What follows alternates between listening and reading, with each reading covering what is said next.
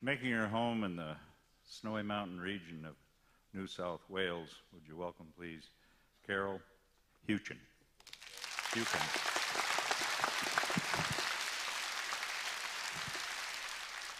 Banjo Paterson's The Man from Snowy River. There was movement at the station, for the word had passed around that the colt from Old Regret had got away and had joined the wild bush horses. She was worth a thousand pounds, so all the cracks had gathered to the fray. All the tried and noted riders from the stations near and far had mustered at the homestead overnight, for the bushmen love hard riding where the wild bush horses are, and the stock horse snuffs the battle with delight. There was Harrison, who made his pile when Pardon won the cup and the old man with his hair as white as snow. Ha, but few could ride beside him when his blood was fairly up. He would go wherever horse and man could go. And Clancy of the Overflow came down to lend a hand. No better horseman ever held the reins, for never horse could throw him while the saddle girths would stand. He learnt to ride while droving on the plains. And one was there, a stripling on a small and weedy beast. It was something like a racehorse, undersized, with a touch of Timor pony, three parts thoroughbred at least, and such as are by mountain horsemen prized. He was hard and tough and wiry, just the sort that won't say die. There was courage in his quick, impatient tread, and he bore the badge of gameness in his bright and fiery eye and the proud and lofty carriage of his head. But still, so small and weedy, one would doubt his power to stay. And the old man said, That horse'll never do for a long and tiring gallop, lad. You'd better stay away. Those hills are far too steep for such as you. So he waited, sad and wistful. Only Clancy stood his friend. Well, I think we ought to let him come, he said. I'll warrant he'll be with us when he's wanted at the end, for both his horse and he are mountain bred. He hails from Snowy River, up by Kosciuszko's side, where the hills are twice as steep and twice as rough, where a horse's hooves strike firelight on the flintstones every stride, and a man that holds his own is good enough. And the Snowy River riders on the mountains make their home, where the river runs those giant hills between. I've seen full many horsemen since I first commenced to roam, but never yet such horsemen have I seen. So he went, and they found the horses by the big mimosa clump, and they raced away towards the mountain's brow. And the old man gave his orders Boys, go at them from the jump. No use to try for fancy riding now. And Clancy, you must wheel them. Try and wheel them to the right. Ride boldly, lad, and never fear the spills for never yet was rider that could keep the mob in sight once they gained the shelter of those hills.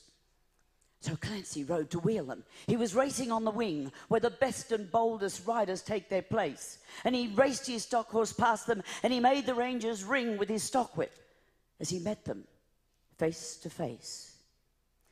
And they halted for a moment while he swung that dreaded lash but they saw their well loved mountains full in dew, and they charged beneath the stockwhip with a sharp and sudden dash, and off into the mountain scrub they flew. And fast the horsemen followed, where the gorges, deep and black, resounded to the thunder of their tread. And the stockwhips woke the echoes, and they fiercely answered back from cliffs and crags that beetled overhead.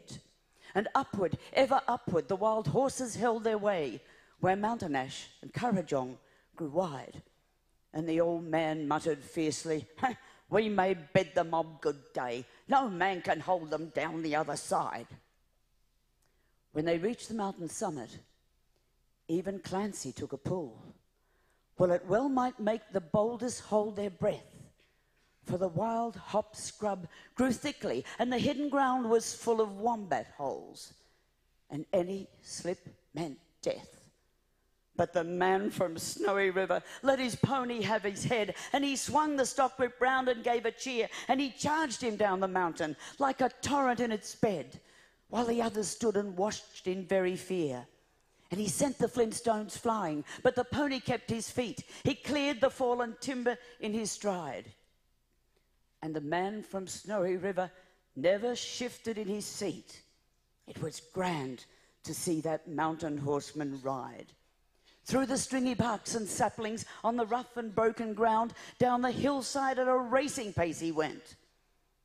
And he never drew the bridle till he landed, safe and sound, at the bottom of that terrible descent.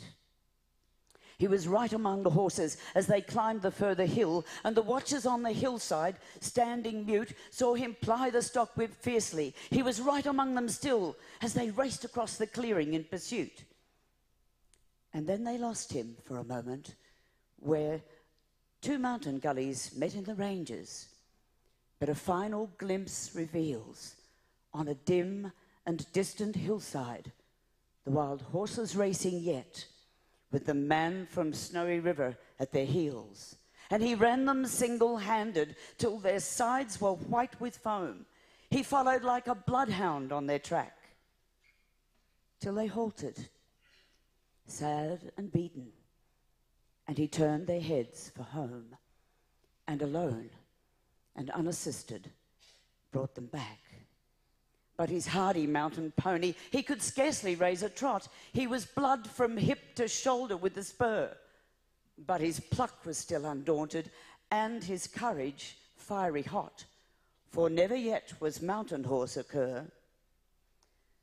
And down by Kosciuszko, where the river runs those giant hills between, where the reed beds sweep and sway to the breezes, and the rolling plains are wide the man from Snowy River is a household word today, and the stockman told the story of his ride. Banjo Paterson.